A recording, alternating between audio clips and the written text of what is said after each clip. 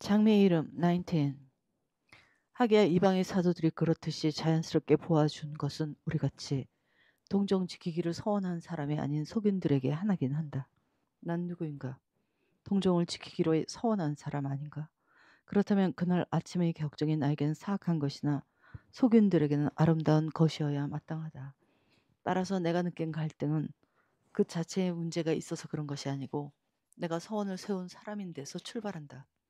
그러므로 나는 한편으로는 아름답고 한편으로는 사악한 것 사이에서 방황하고 있었던 셈이 된다.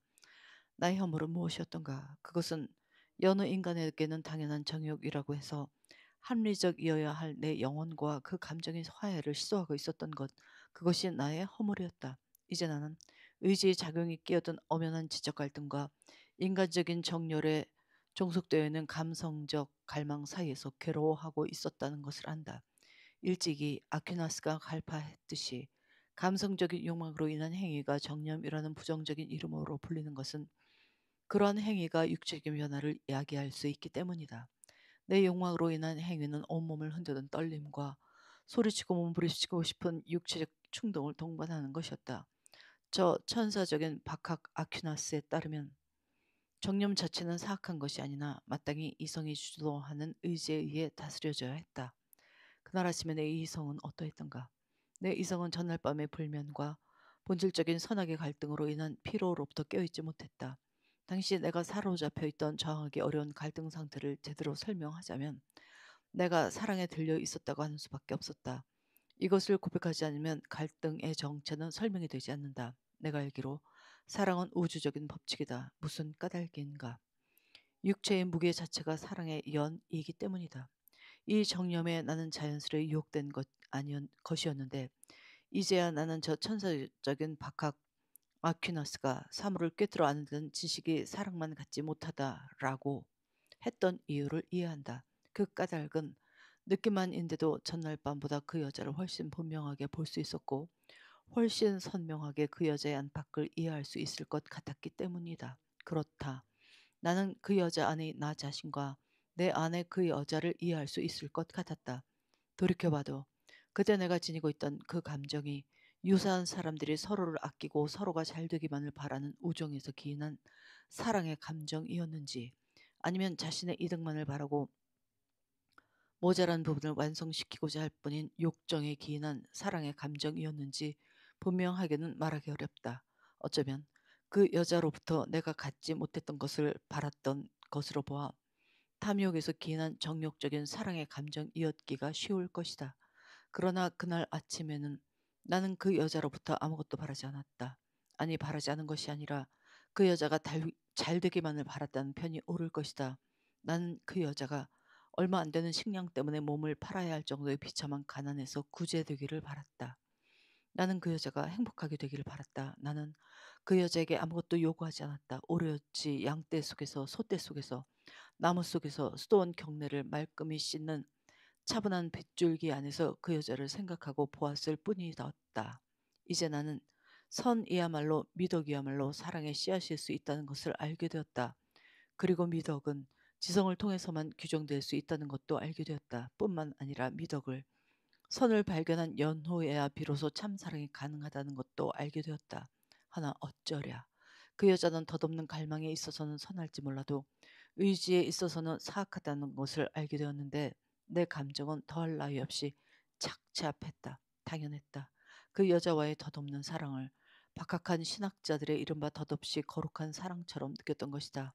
거룩한 사랑에 빠지면 사랑하는 자와 그 대상이 되는 자가 같은 것을 원하게 되는 상태에 빠지게 되는데 신비하게도 나 역시 그 순간에 그 여자가 나와 같은 것을 바라고 있다고 확신할 수 있었다. 또한 나는 그 여자를 질투하기 시작했다.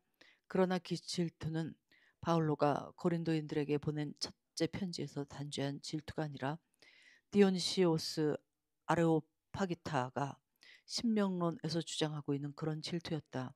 말하자면 모든 피조물을 사랑하시기 때문에 하느님의 하시는 것과 비슷한 사랑하는 것에 첨가하는 그런 질투였다. 나는 그 여자가 존재하기 때문에 그 여자를 사랑했다. 나는 그 여자가 존재한다는 것을 행복으로 여겼을 망정 그 존재 자체를 질투하는 것은 아니었다. 그 여자에 대한 나의 질투는 천사적인 박학 아퀴나스의 이른바 사랑의 씨앗인 질투, 사랑하는 자의 위험을 막고 나서는 오해의 질투였던 것이었다. 당시 나는 그 여자의 육체를 삼으로써 제 사악한 정념을 또 한 번 더럽히는 자의 손아귀로부터 그 여자를 구하는 생각에 사로잡혔다. 이제야 나도 사랑이 지나치면 사랑하는 자를 다치게 할 수도 있다는 저 박학한 아퀴나스의 말귀를 알게 되었다. 내 사랑은 바로 그런 지나친 사랑이었다. 말이 길어졌지만 난 당시에 내 느낌을 되도록 정확하게 설명하고자 한 것이지 그때의 내 느낌을 정당화하려는 것이 아니다. 나는 지금 내 청춘의 그 죄 맡은 열정의 정체를 독자에게 전하려 한다. 그 열정은 사악한 것이었다. 그러나 진실은 나에게 그때의 내 느낌은 참으로 아름다운 것이었다고 고백할 것을 요구한다. 이 진실이 나처럼 유혹의 덫에 걸릴지도 모르는 후학에게 가르침이 될 수 있다면 그런 다행이 없을 터이다. 이제 늙은이가 다 된 나는 그러한 유혹을 피하는 방법을 두루 안다. 이제는 나토깨비 유혹에서 놓여놨으니 내가 좀 자랑스럽게 여기도 될 때가 되었다 싶다가도 문득문득 아직은 유혹에서 완전히 벗어난 것 같지 않아서 곤혹을 느끼곤 한다. 그래서 나는 지금도 나 자신에게 지금 내가 무엇을 하고 있는 것인가? 이것은 추억에 잠기기 좋아하는 지상적 정열에 굴복하는 것은 아닌가? 시간의 흐름과 죽음에 저항해 보려고 이러는 것은 아닌가? 하고 물어보고 있다. 어쨌든 당시에 나를 구한 것은 기적적인 본능이었다. 여자는 돌연 여자 자체로서가 아니라 나를 둘러싸고 있는 모든 자연과 인공의 사상으로 내 앞에 나타났다. 나는 내 영혼의 직관이 지니는 힘을 빌려 이 모든 사상을 정화, 정관함으로써 여자로 인한 긴장과 갈등에서 놓여나려 했다. 나는 외양간에서 소떼를 끌고 나오는 목동들, 돼지에게 먹이를 주는 돼지치기들, 양떼를 모으는 번견에게 고함을 지르는 양치기, 자루를 메고 방앗간에서 나온 농부들을 바라보았다. 나는 자연 현상에 관한 명상 안에다 나 자신을 풀어놓음으로써 내 생각을 지우고 있는 그대로 자연의 형상을 바라보고 그 형상에 의지해서 나 자신을 잊으려 했다. 아름다워라. 사악한 인간의 지혜에 물들지 않은 자연의 모습이여. 나는 어린 양들을 바라보았다. 어린 양들은 그 순수하고 착한 성품을 인정받아 어린 양이라는 이름을 상으로 받으면서부터 그렇게 불리게 된 것일까? 실제로 어린 양을 지칭하는 명사는 어린 양이 안다. 즉 무릿속에 있는 제 어미를 알아보고 그 목소리를 알아듣는다는 사실에서 유래한다. 어미 역시 수많은 어린 양 무리에 섞여 있어도 제 새끼의 울음소리를 알아듣고 제 새끼만 가려내어 젖을 먹인다. 나는 양을 바라보았다. 양은 재물이라는 말에서 유래했다고 해서 양이라고 불린다. 아득한 옛날부터 이 짐승이 재물로 쓰였기 때문에 그러한 꼴 바꿈을 한 것이다. 양에게는 겨울이 다가올 때면 목초가 서리에 실기 전에 탐욕스럽게 먹어두는 버릇이 있다. 양떼 사이에는 개가 있었다.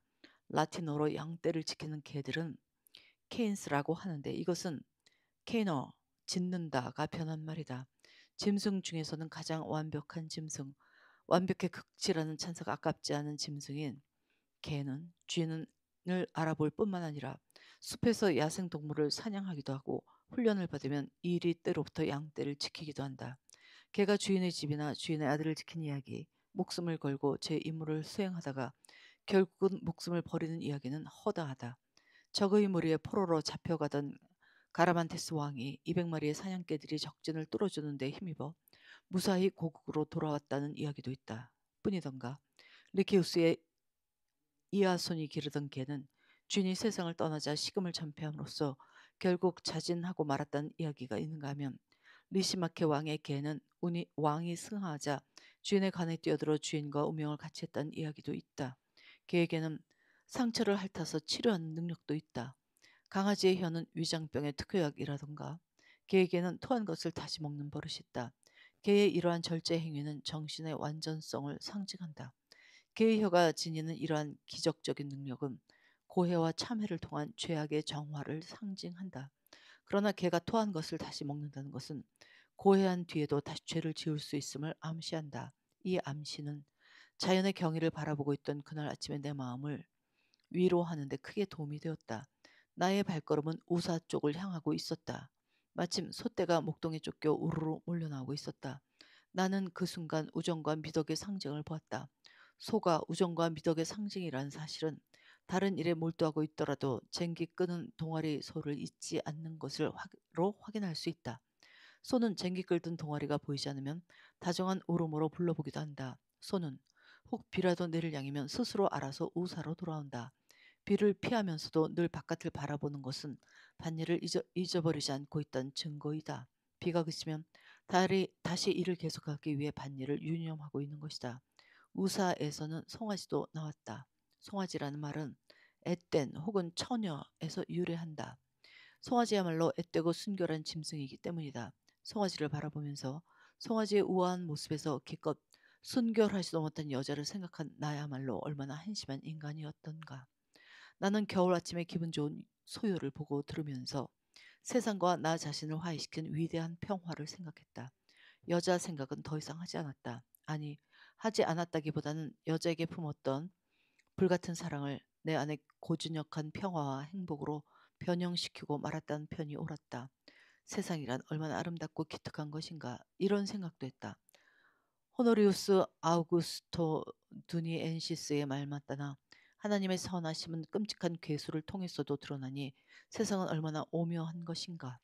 괴수 이야기가 나왔으니까 말이지만 뱀 중에는 숫사슴을 단숨에 삼키고 넓디 넓은 바다를 헤엄쳐 건널 만큼 큰 뱀도 있다.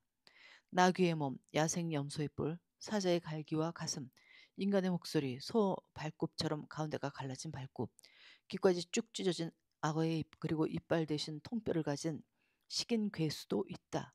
그런가 하면 인간의 얼굴, 세 줄로 난 이빨, 사자의 몸, 전갈의 꼬리, 핏빛 눈을 하고는 뱀처럼 씩씩거리며 인육을 찾아 헤매는 괴수도 있다. 여덟 개의 발가락, 이리 주둥이, 구부러진 발가락, 양의 털, 개의 등. 늙으면 털이 새기는커녕 세월이 흐를수록 더 까맣게 짙어져가는 그래서 인간보다 수명이 더 긴 괴수도 있다. 어찌 그뿐이더냐? 머리가 없기 때문에 양 어깨에 눈이 하나씩, 가슴에 콧구멍에 한쌍 뚫린 괴물이 있는가 하면 겐지스강에서 사과 냄새만 맡고 사는 괴물로 그 강을 떠나기만 하면 죽어버린다는 것도 있다. 그러나 개가 그러하고 소, 양, 살쾡이가 그러하듯이 이렇게 생긴 괴수들도 나름의 목소리로 다 창조주와 그의 지혜를 찬미한다. 뱅생드 보베의 말 맞다나 이 세상의 소박한 아름다움이 사실은 얼마나 고귀한 것이며 우주에 어울리게 나타 갖추어진 온갖 사물의 꼴과 소와 냄새, 태어난 것의 죽음으로 확인되는 생성과 소멸을 통한 시간의 주기에 대한 통찰이 이성의 눈에 얼마나 아름답게 비치었던가. 내 비록 한때는 영혼을 육신의 노예로 전락시킨 죄인이었다. 그러나 고백하건대 나는 곧 그 죄를 참회하고 내 영혼으로 하여금 창조주와 이 세상의 이치를 따르는 정신의 아름다움을 만나게 하고 기꺼이 창조의 크심과 그 견인 불발에 고개를 숙이게 하였다. 그렇게 느긋하게 마음의 평화를 누리고 있는 참인데 사부님이 내 쪽으로 다가왔다. 나는 발길 닿는 대로 전혀 의식도 하지 못한 채로 수도원 경내를 거의 한 바퀴 돌고 있었던 모양이다. 퍼뜩 정신을 차리고 보니 나는 어느새 두 시간 전에 사부님과 헤어졌던 바로 그 자리에 와 있었다. 그 자리에서 만난 사부님의 말에 생각의 미로를 헤매던 나는 정신을 차리고 다시금 수도원의 어두운 수수께끼로 눈을 돌렸다. 사부님은 기분이 좋아 보였다. 그는 예의 그 베난티오의 양피지를 들고 있었다. 기어이 그 양피지 암호문을 해독하고 말았던 것이었다. 사부님은 혹 우리 주위에 경솔한 귀가 있을까 염려스러웠던지 나를 당신의 독고로 데리고 가서는 당신 손으로 해독한 암호문을 번역해 주었다. 12궁도의 기호로 짜여진 아프리카의 끝의 비밀은 우상 위의 손길을 통해 넷의 첫째와 일곱 번째에 작용한다라는 문장 다음에 이어지는 그리스어 암호문의 내용은 이러했다. 무서운 독이기는 하나 이 독에는 정화 작용이 효능이 있다. 원수를 괴멸시키는 데는 최상의 무기. 비천하고 가난한 천민을 쓰되 이들의 약점을 이용하여 남을 즐겁게 한다. 약점을 이용하되 죽게 해서는 안 된다. 귀족이나 권력자의 저택이 아닌 농민들이 사는 마을에 주지육림이 파한 자리에서 땅딸막한 광대, 일그러진 얼굴, 처녀를 능욕하고 창부와 잠자리에 들지만 악의가 없고 두려워할 줄도 모른다. 다른 진리 혹은 진리의 다른 모습, 귀한 무화과, 부끄러움을 모르는 돌이 광야를 구른다. 눈앞에서.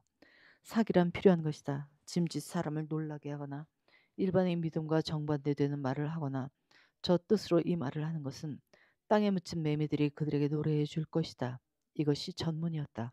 그러나 전문이나마나 내가 보기에는 아무 의미도 없는 미친 사람의 헛소리에 다를 바 없었다. 사부님에게도 내 느낌을 고백했다. 사부님도 내 말을 그러다고 하지 않았다. 나는 그렇기도 하다. 번역해 놓고 보니 더하구나. 내 그리스어 실력이 그렇게 믿을 만한 것이 못 된다면 마음이 좀 놓이겠느냐?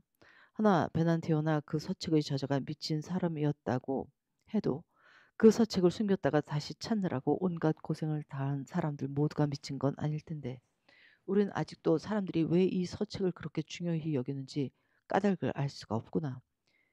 여기 쓰인 글귀가 그 수수께끼의 서책에서 나온 것은 분명한죠. 베난티오가 베껴 쓴 것임에 분명하다. 너도 보면 알 것이다. 이것은 옛날의 양피지가 아니라 요즘에 만들어진 양피지이다.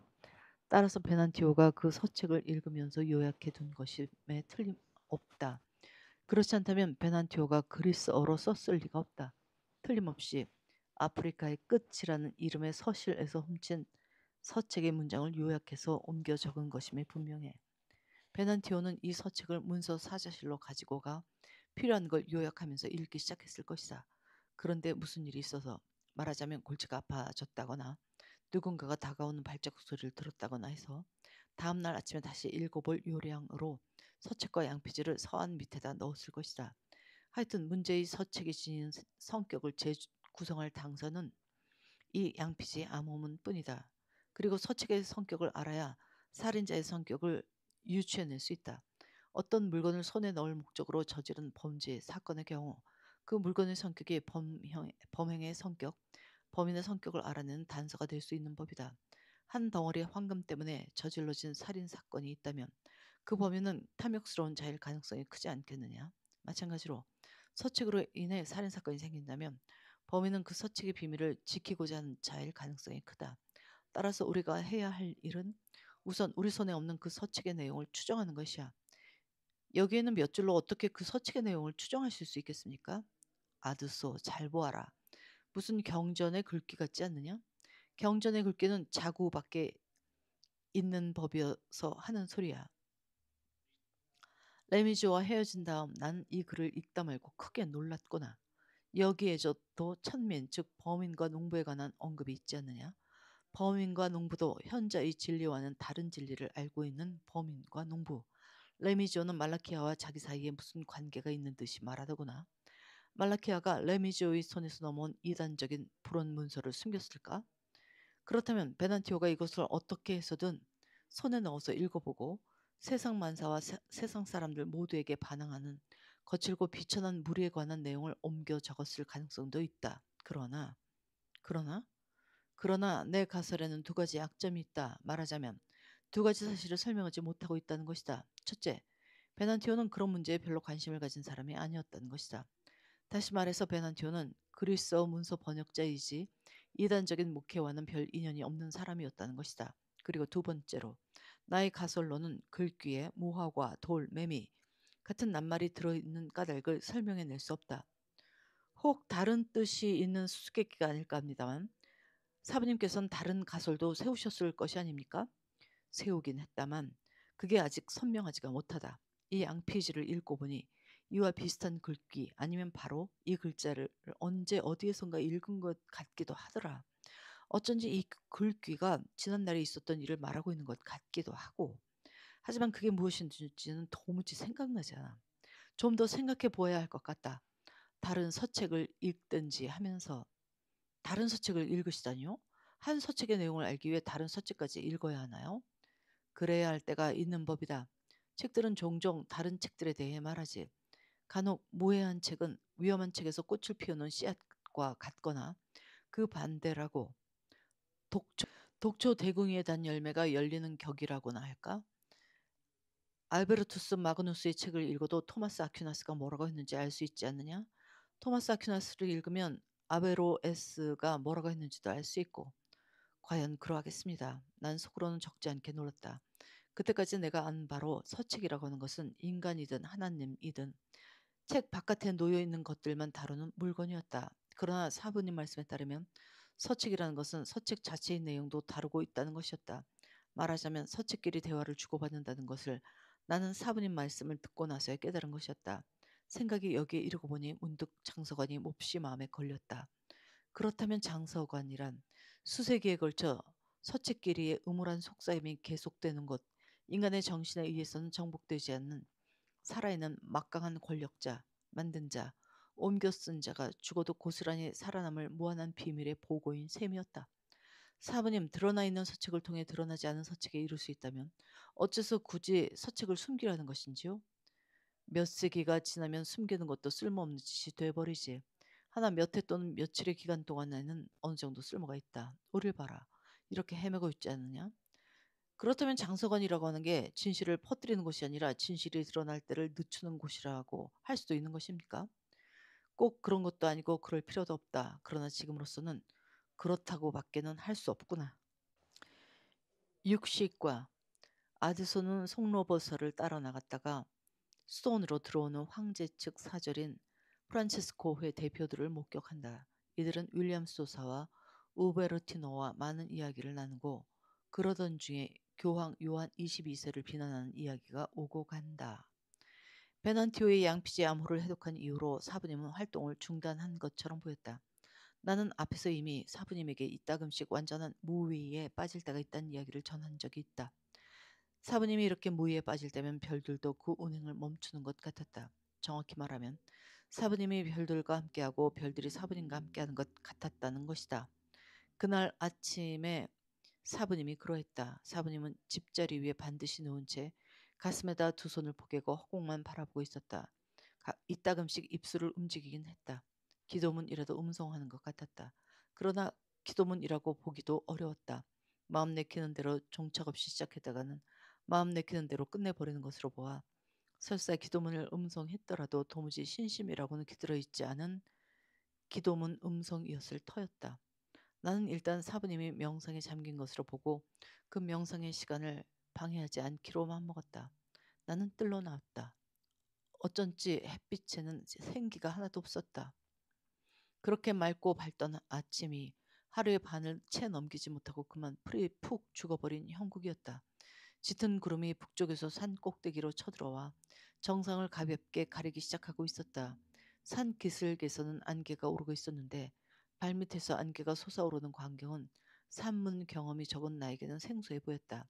수원이 위치한 지대의 고도가 높아서 그랬겠지만 나에게는 위에서 내리는 구름과 아래서 솟아오르는 안개를 분간하기가 쉽지 않았다.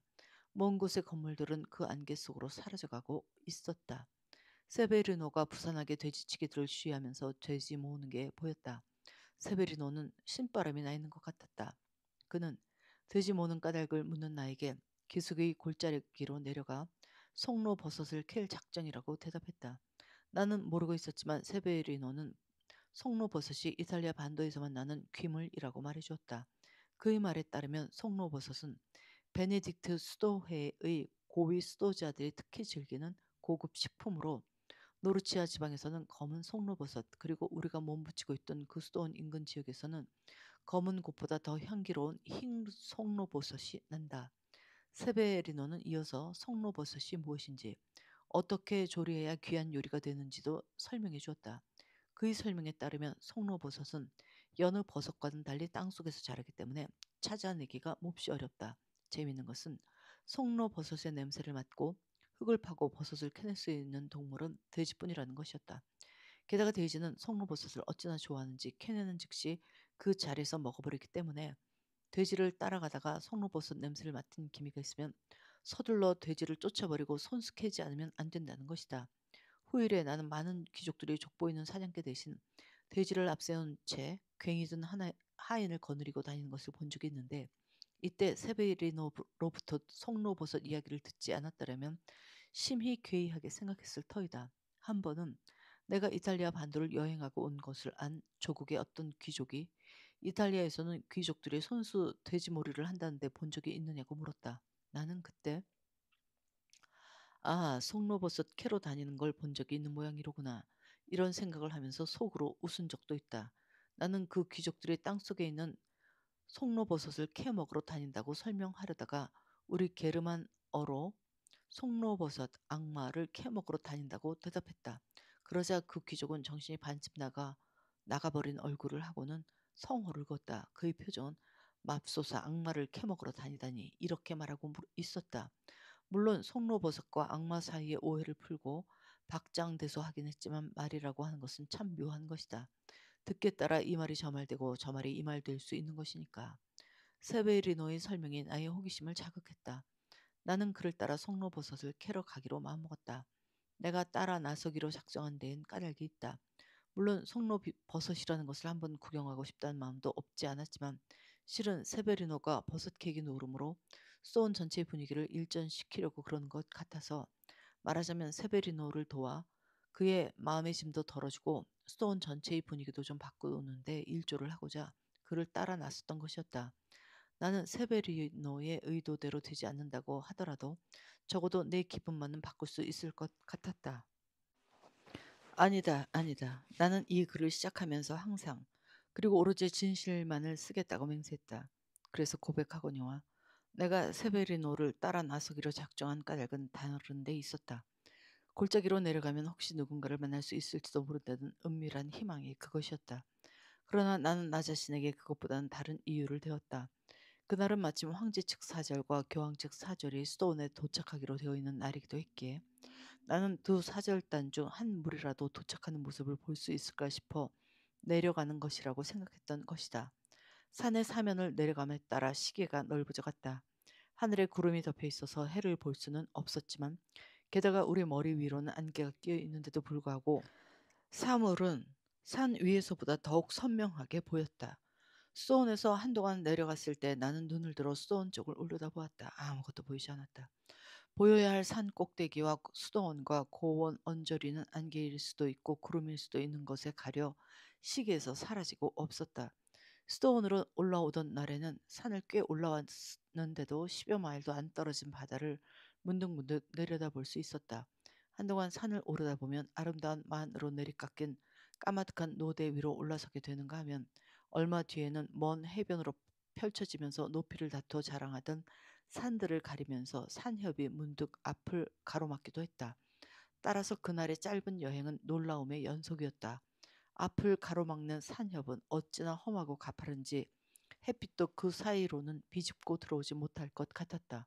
그 뒤로도 이탈리아 북부를 두루두루 돌아다녔지만 그렇게 비좁은 산협, 그렇게 갑작스럽게 상봉하는 바다와 산, 그렇게 고산 풍광의 꼬리처럼 펼쳐진 아름다운 해변을 본 적이 없다.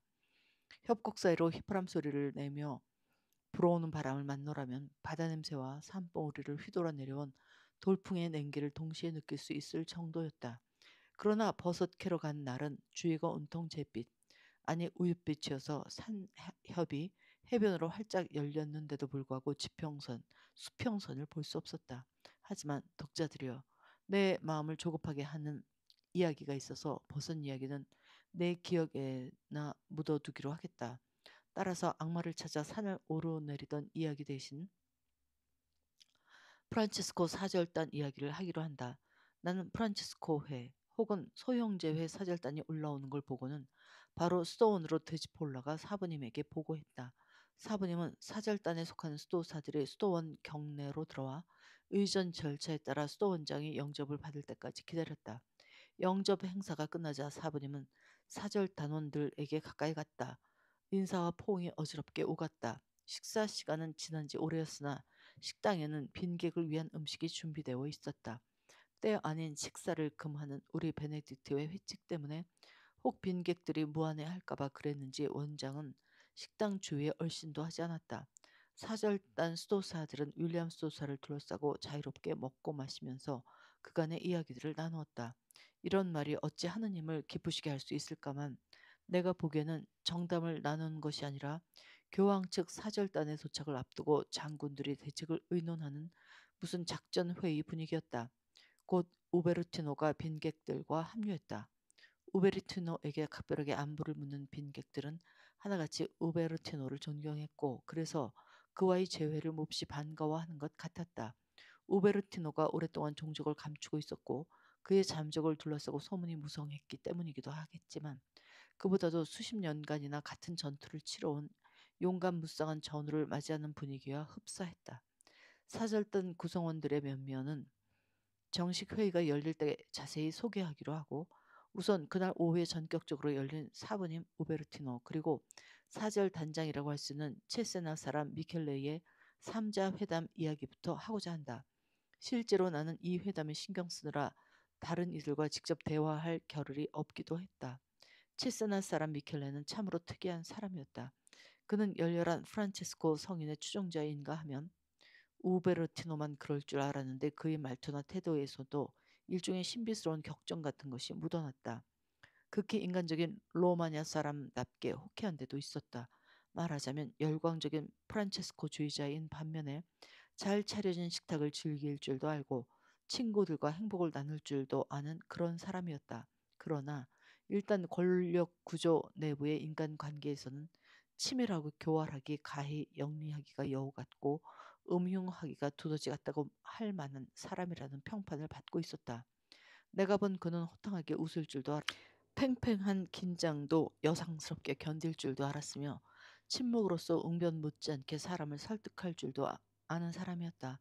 그에게는 상대의 질문이 마음에 들지 않을 경우 시선을 돌려 버림으로써 그 질문 자체를 무시하면서도 질문자를 무한하지 않게 하는 재주도 있었다. 앞에서도 체스나의 미켈레 이야기를 조금 한 바 있다. 물론 남들에게서 그 전설처럼 들었던 이야기들이다. 나에게 미켈레 이야기를 한 사람들 중에는 실제로는 미켈레를 한 번도 본 적이 없으면서도 역시 들은 이야기를 나에게 전해준 사람도 적지 않을 것이다. 그러나 그때 나는 미켈레 소설을 목전에서 친견하면서 수많은 동도의 도반들과 추종자들을 당혹해 했던 그의 모순된 태도와 정략적인 변신의 과정과 까닭을 나름대로 이해할 수 있었다. 프란치스코 스토회, 곧 소용제 스토회의 총회장인 그는 원칙적으로는 성 프란체스코의 적법한 후계자인 동시에 실제로 으뜸가는 성 프란체스코 해석자이기도 했다.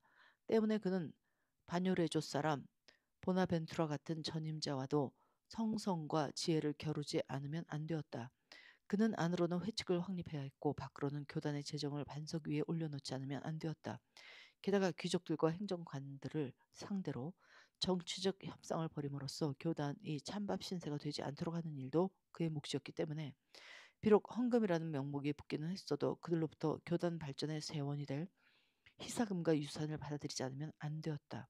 소용제 수도회의 한 종파인 열렬하고 따라서 과격한 엄격주의파 수도사들도 그 자신이 다독거려야 했다. 약간은 이단의 소지가 있는 당시의 엄격주의파 수도사들이 소형제 회의 참회 강요에 못 이겨 미켈레가 총회장으로는 정통파 교단을 떠나 이단자 무리에 가담하는 일 또한 비일비재했으니 총회장으로서는 검은 머리가 못이 바구니 될 지경이었을 터였다. 그는 또 황제의 미움을 살 처지도 아니었고 교황의 심사를 건드릴 형편도 아니었으며 날로 과격해지는 소형제파와 엄격주의파를 나 몰라라 할 계제도 아닌 판에 성 프란치스코까지 기쁘게 해야 했다. 성 프란체스코가 하늘에서 내려다보고 프란체스코회 신도들이 땅에서 올려다보고 있을 터이니 그의 자리가 몹시 고단한 자리인 것도 무리는 아니었다. 이렇게 어려운 자리에서 모나지 않게 처신해야 했던 미켈레는 교황 요한이 프란체스코의 엄격주의파를 이단으로 몰았을 때 회칙에 묶이지 않으려고 날뛰는 프로방스의 수도사 다섯을 교황의 손에 붙이는 것도 마다할 수 없었다. 교황은 이 다섯 수도사들을 화형주에 매달았다. 그러나 교단의 많은 성직자들이 복음주의적 청빈 사상에 경도되어 있다는 사실을 깨달은 이렇게 만든 사람은 바로 우베르티노였다. 그 사실을 깨달은 미켈레는 4년 뒤에 페루자에서 열린 총회에서는 화형을 당한 다섯 수도자를 복권시키는 한편 이단으로 흐를 수 있는 교단의 내적 요구와 교단 자체의 회칙 및 원칙을 화해하게 하고 교단의 요구와 교황의 요구와도 조화시키지 않으면 안 되었다. 그러나 교황의 체계가 없는 경우 미켈레는 교단의 살림을 꾸릴 수 없는 입장이었다. 바로 이 때문에 미켈레는 교황의 미움을 살 수도 없는 형편이었고 교황을 용인하지 않으려고 날뛰는 교단 내의 분위기 때문에 황제 및 황실 신학자의 미움을 살수 없는 형편이었다. 우리와 그 수도원에서 만나기 2년 전만 하더라도 리옹의 프란체스코회 총회장 자리에 앉아 교황에 대해서는 존경과 절제의 말만 입에 올릴 것을 가르치던 그가 아니던가. 그것도 교황이 프란체스코 회를 두고 우는 소리와 실책과 독심만 아는 무리라고 하고 나서 겨 몇 달 뒤의 일이 아니던가. 그러던 그가 불과 2년 뒤에는 교황을 전혀 존경하지 않는 사람들, 말하자면 우베르티노 같은 투사, 사부님 같은 황제 측 총신과 정답게 마주앉아 이야기를 나누고 있는 것이었다. 교황 요한 22세가 미켈레를 아비뇽에 부르고 싶어 한다는 이야기는 앞에서도 한 바 있다. 미켈레 자신은 교황의 부름에 따르고 싶기도 그렇지 않기도 했던 것 같다. 그 다음 날에 열릴 회담의 목적은 그러니까 미켈레가 아비뇽으로 가되 어떤 성격의 여행이 될 것인지 무엇이 보장될 것인지를 결정하는 데 있었다. 무엇보다도 미켈레의 아비뇽 방문을 복정으로 보여서도 반역으로 보여서도 안 될 조심스러운 일이었다. 내가 알기로 미켈레는 요한을 적어도 교황으로서의 요한을 칭견한 적이 없는 사람이다. 어쨌거나 그가 한동안 요한을 만나본 적이 없었다는 건 분명하다. 그래서인지 미켈레와 동석한 옛 전우들은 미켈레 앞에서 성직 매매자로서의 교황의 초상에 먹칠하기를 망설이지 않았다. 윌리엄 소사가 먼저 미켈레에게 못을 박았다. 총회장인 당신이 분명하게 알아야 할 것은 교황의 서원은 절대 믿어서는 안 된다는 것이오. 그는 서원의 내용은 저버린 채 그 문자에만 매달리는 사람이니 말이오. 우베르티노도 거들었다. 그자가 교황 자리에 오를 때 일은 천하가 다 알지. 그게 어디 선거랍디까 협잡이지. 식탁에 동석하고 있던 한 노수도사가 고함을 질렀다. 나중에 알았지만 고함을 지른 장본인은 뉴캐슬 사람 휴 수도사였다.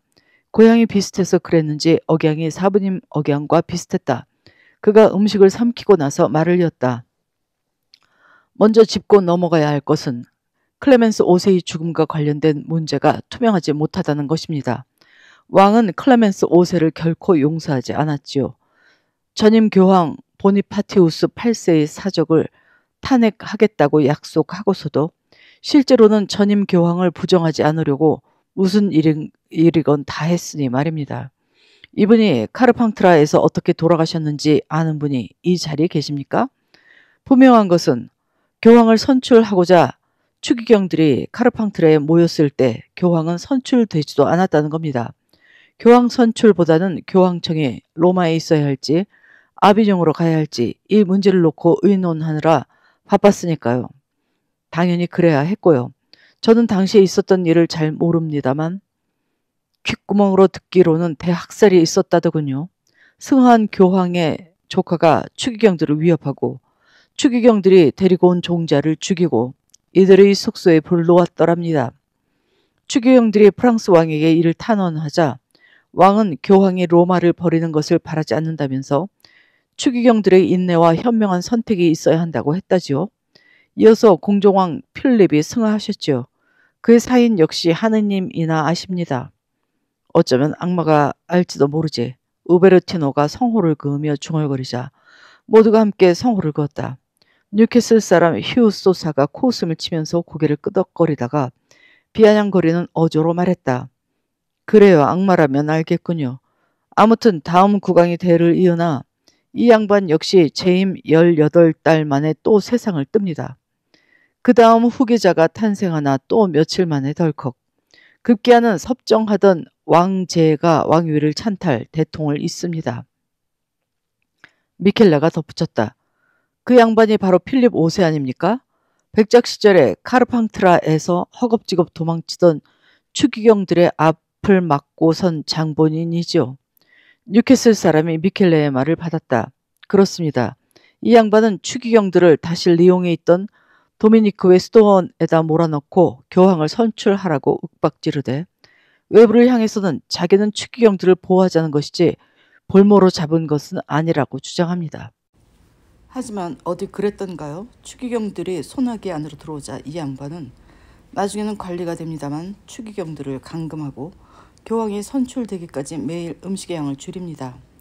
추기경들은 결단을 내리지 않을 수 없게 되지요. 백작은 추기경들을 한 사람씩 불러 자기가 왕위에 오를 때는 응분의 지원을 해주겠다고 약속합니다. 실제로 백작은 왕위에 오르지요. 일이 이렇게 되자 한 두어 해 동안 그곳에서 먹을 것 제대로 못 얻어먹으면서 살아야 할까봐 잔뜩 겁을 집어먹은 추기경들은 거기서 필립 왕의 제안을 받아들입니다. 말하자면 70객인 땅 귀신을 베드로의 자리에다 앉힌 겁니다. 땅 귀신이라는 말 잘하셨군. 꼴은 폐병 환자 같지만 힘쓰기 꿰쓰기는 상상을 앞지른대요. 우베르티노가 웃으면서 응수했다. 신기료 장수 아들이었다면서요? 좌중의 누군가가 이런 말을 하자 우베르티노가 그를 나무랐다. 예끼 그런 말 마오. 그리스도는 목수 아들이었어. 그건 중요한 게 아니에요. 공부는 많이 한 사람이랍디다. 몽펠리에에서는 법률을 공부했고 파리에서는 의학을 공부했다니까. 이렇게 공부하다가 기회가 오는 듯 십자 주교자리 추기경 모자를 하루라도 먼저 얻으려고 사람도 골라서 사귀게 됩니다. 나폴리에서 현명 왕을 자문할 때에는 그 특유의 해안으로 사람들을 적지 않게 놀라게 하기도 했던 모양이에요. 아비뇽 주교 시절에는 공정왕 필립을 적절하게 자문하여 성당 기사단을 해산하기도 했다고 합니다. 내가 굳이 적절하게 자문했다고 하는 것은 당시 성당 기사단의 작패가 적지 않았게 하는 소리지 다른 뜻이 있는 게 아닙니다. 이 양반은 교황에 선임된 직후에 자기를 죽이려고 하는 추기경단의 음모를 분쇄하기도 하죠. 하지만 내가 정말 하려는 이야기는 이런 게 아니랍니다. 나는 이 양반에게만 있는 독특한 능력을 하나 소개하려는 참이에요. 이 양반에게는 맹세를 깨끗이고 도 남들의 비난을 피하는 묘한 능력이 있어요. 교황에 피선되기 직전에 이 양반은 오르신이 추기경에게 교황청을 로마로 옮겨 가겠다고 약속합니다. 그리고 피선된 뒤에는 교황이라는 성별된 자리를 두고 맹세하거니와 자기가 만일에 그 약속을 지키지 못하면 평생 말이나 노새는 타지 않겠다고 또 한 번 맹세합니다. 이 여우 같은 자가 그 뒤로 어떻게 했는지 아시오? 이자는 리옹에서 대관함으로써 아비뇽에서 대관하기를 바라던 왕의 뜻은 이루어지지 않게 됩니다만 이 리옹에서 아비뇽까지 어떻게 갔는지 아시오? 배를 타고 갔답니다. 좌중의 노스도사들이 모두 웃었다. 교황이 비록 위서의 허물을 짓기는 해도 그에게 재치 있는 구석은 있었던 모양이라고 나는 생각했다.